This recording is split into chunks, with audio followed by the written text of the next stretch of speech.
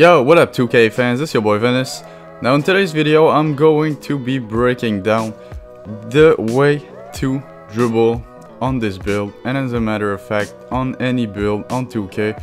Now a lot of you guys have been asking me to show you how I dribble on this build, how do I get open, what dribble moves do I use and I'm here to um, debunk the myth that you gotta use, you know, YouTubers dribble moves or your favorite 2K players dribble move to have success and uh, to actually be able to dribble. There are no combos to do in this game that uh, you know require a, a high amount of stick skills, practice, uh, labbing in my court for hours try, trying to pull off certain dribble moves. There, there are no such things on 2K. Uh, for, as far as just SIGs go, so uh, dribble moves, signature styles, just go in there, pick what you like, and uh, you'll you'll you'll make it work, bro. If you if you ever ever played ball in real life, do you uh, do you stand there trying to copy Kyrie Irving's dribble moves or Steph's dribble moves? No, bro. You you just use what you like and you perfect it and you try to make it work uh, the, at the best of your capability.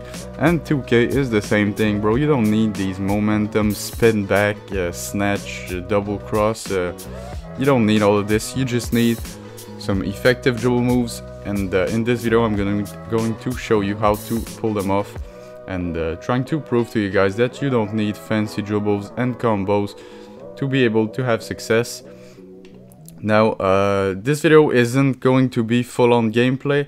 I picked some uh, some valuable clips that I got on the one-on-one -on -one court and I'm going to be breaking them down to you guys and just once again showing you that you don't need to be hella fancy with these dribble moves. You don't need to overthink it. Alright, so let's get into breaking down some of these moves. Alright, so first move we're gonna start by the most simple. Let's watch it full speed and then we're going to break it down.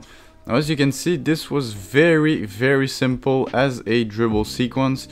I, uh, you gotta analyze what your defender is trying to do. Now on this side hop, I'm noticing that this guy is going to cover baseline to prevent the dunk. So we're gonna watch it in slow-mo. As you can see, he's in my face, so I hop it to my right side. And as you can see, this dude is deciding to cover the baseline angle so uh, he gives me the top of the key wide open, so I'm just gonna snatch it behind my back to get that little speed boost from quick first step. Run all the way to the top of the key, top of the mid-range, and this green, he's got the late contest because he didn't cover his angles properly. Now this next move is going to put value into the signature combos that 2K gives to us. Now as you can see, I start up this sequence by resetting my position by hopping backward. Then I start up the dribble combo, the signature combo that gets uh, going with the uh, joystick, right joystick going up, signature, signature combo going. There are so much windows of crossover in this uh, little sequence only. We're gonna count them, so there's one, there's two, there's three, and then four, and then I'm going to pick the fifth one by crossing this guy over to his left and the rest is history. So this next move is gonna show you that you can use your opponent's momentum against him. As you can see I run to one side, snatch it back and just cross him over by going to the same side I was originally planning to go.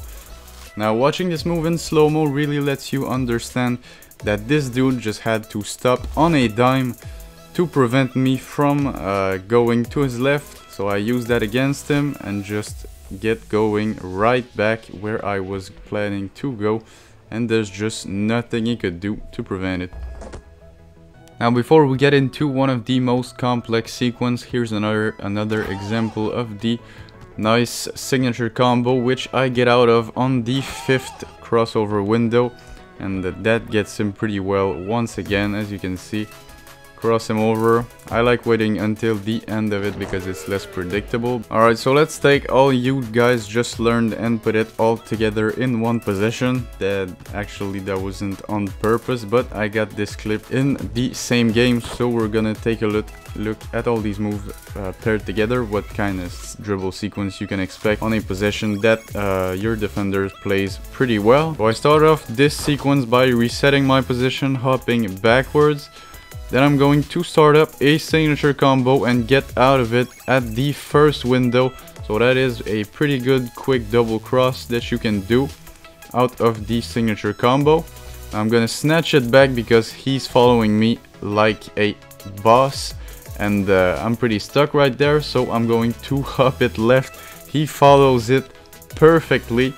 So let's hop to the right. Once again, signature combo, get out of it first uh, crossover window, which is what I do right there.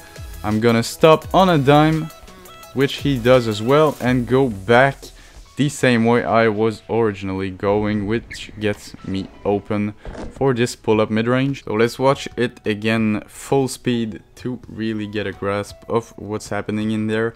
Doesn't seem like much, but when you actually think about it, there are pretty much uh, 5 to 6 different moves combined in one position, but they are still simple and that's what most important. You don't need the half spins, double cross, momentum behind the back snatches to be effective on any build in this game. You just need to know a little bit what you're doing, know what your animations look like, pick the right sigs for your playstyle, do not copy other people's signature styles, it is absolutely useless.